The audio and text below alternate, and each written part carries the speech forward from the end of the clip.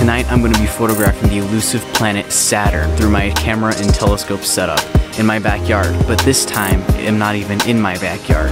I'm in a new location that I've never shot in before until this year. This is Tanner from TH Astro and welcome to the YouTube channel.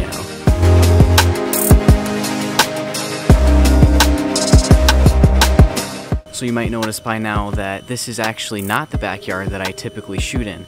I am actually in a Bortle 3 or 4 site right now. It doesn't really make a difference because I am shooting under some hazy smoky skies tonight. Yes, the smoke is back unfortunately, and there's also a half moon, so I unfortunately won't be doing any deep sky astrophotography tonight. Instead, I will be photographing Saturn, but not even with my telescope that I normally use. I will be using a different telescope, my Skywatcher SkyMax 102. It is a Maksutov Cassegrain telescope. The telescope I will be using has an effective diameter of 102 millimeters or roughly 4 inches and a focal length of 1300 millimeters and a nice and fast f13 f ratio. So you might be wondering if my refractor is longer and this Maksutov Cassegrain telescope is much shorter, why would I be using a shorter telescope? Don't you need big telescopes to see planets? Yes, while that's true, some telescopes are actually quite special. Some of them use mirrors, and this is what Maksutov telescopes use. They use mirrors that will effectively bounce the light back and forth, which will triple their original focal length and will give you a nice narrow path straight to planets which is exactly what we need. To help with this narrow field of view I will be using my ZWO ASI 120MC color astronomy camera which normally fits on my guide camera but tonight I will be using it as my main camera because I want this really narrow field of view that my normal camera doesn't have due to its large sensor size.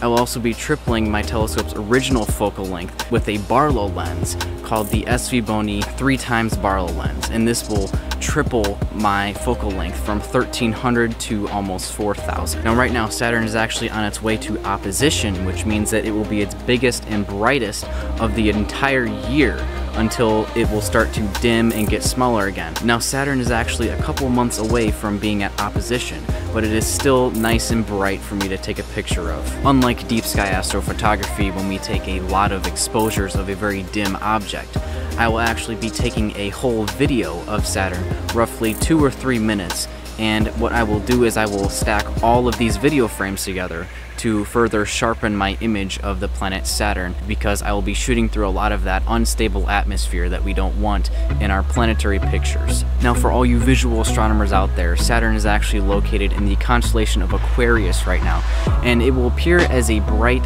yellow star. It'll look just like all the other stars, but it will kind of stand out a little bit by being yellow. Now once you zoom in through that star, hopefully with any binoculars or just a telescope lying around, you will actually be able to see some of Saturn's rings and even its brightest moons like Titan or Enceladus. My main focus for tonight will be capturing Saturn's rings and even the famous Cassini division in those rings. The Cassini division is a bright, or I guess dark, little divide in Saturn's rings that you can easily see through a lot of telescopes. Now this Bortle 3 and 4 site is actually quite special to me. This is actually a lake house that I've been going to ever since my childhood and I've been doing a bunch of crazy things this week. I've been swimming, tubing, and the best part is the fishing. The fishing's amazing.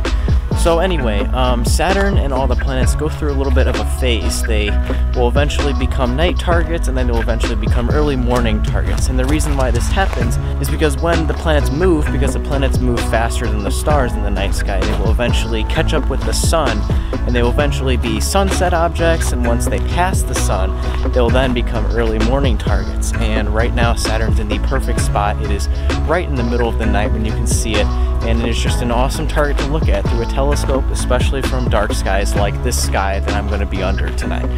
So, um, without further ado, let's fast forward to nighttime.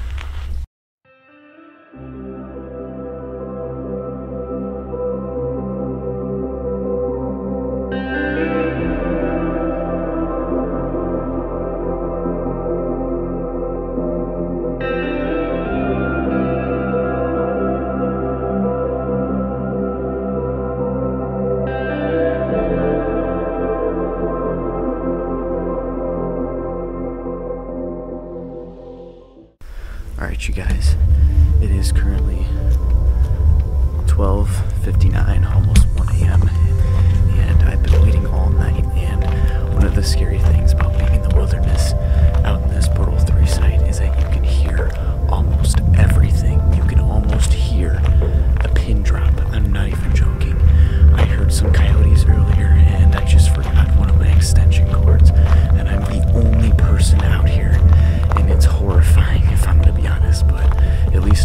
the stars. So let's get this extension cord and let's get going. Now, I don't know if you guys can see this in the camera right now, but just imagine something running right behind me. I'm gonna show you guys really quick what I'm looking at. I can't see anything over here. I can't see anything over here. The only thing that's keeping me here is luckily this light. And I am freaked out right now because I hear coyotes screaming and they seem like they're really close, but we have to go image Saturn and then we're gonna rush right back inside.